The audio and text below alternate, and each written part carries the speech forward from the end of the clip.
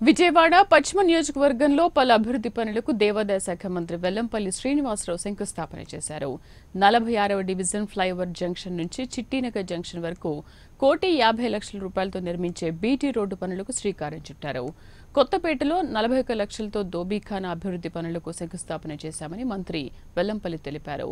దోబీఖానాపై రెండు వందల యాభై నుంచి మూడు వందల కుటుంబాలు ఆధారపడి ఉన్నాయన్నారు.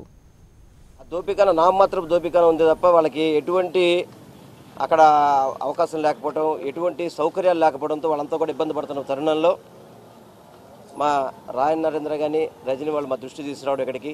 సుమారు దాదాపు రెండు వందల యాభై నుంచి మూడు వందల కుటుంబాలు ఈ యొక్క దోపికాన మీద ఆధారపడి ఉంటాయి. ఆ దోపికాన కూడా మోడల్ దోపికాన చేయాలి. ఇక్కడ వాళ్ళందరికీ కూడా అన్ని రకాల సౌకర్యాలతో సుమారు నలభై ఒక్క లక్షలతో ఈరోజు దోపికాన అభివృద్ధికి ఫౌండేషన్ వేయడం జరిగింది.